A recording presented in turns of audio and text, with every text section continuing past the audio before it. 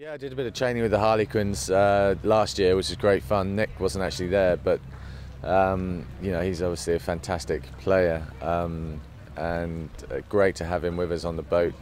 And sort of uh, probably won't be as active as, as what he's used to. Maybe we'd need to be on another boat for that, but I'm sure he'll enjoy Eleonora. She's a beautiful boat, and it's a real privilege to be on board. The boat I'm sailing on, Eleonora, is a classic uh, schooner. It's 160 foot. Um, beautiful boat, the most beautiful boat I've ever sailed on, but it's not really a racing boat. And so it's a real challenge to sail it a, on a course like this and race against so many other boats.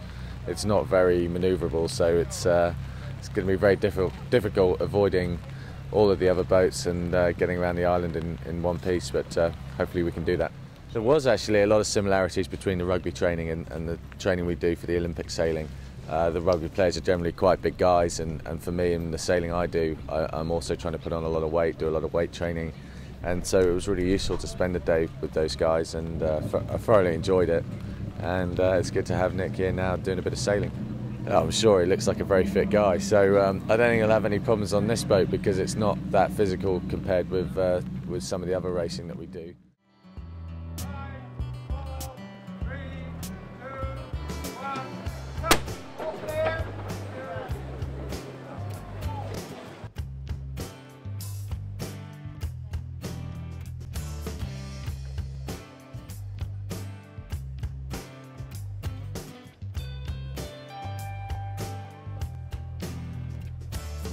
I've been, well, sailing around the Isle of Wight uh, in the magnificent 162 footer, if I've got my maths correct and measurements. Uh, Eleonora, um, which is, I think, the biggest boat on the water, and uh, we've managed to get that going. And it was hard work at times, you know, tacking and all that sort of stuff, but, uh, you know, had a good day. It was just uh, about six weeks ago, I, you know, I got invited to come, and I've never done anything like that, you know, I've not really sailed properly before, and you know, not being the Cowes or the Isle of Wight, so it was just an opportunity, and it's been a great experience. It's hard work. I mean, it doesn't matter how fit or not or unfit you are. It's just as soon as you do your new exercise, you know, it is going to be tiring, something that the body's not used to, and uh, it was it was good.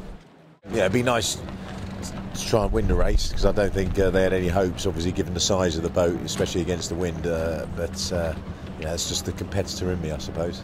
Rugby's a very sort of short, powerful, intense sport. You know, it's over 80 minutes and our sessions are sort of 45 to an hour long, whether it be in the gym or out on the pitch. Whereas you know sailing is pretty much you know half a day, and uh, you know it requires a lot of staying power and and.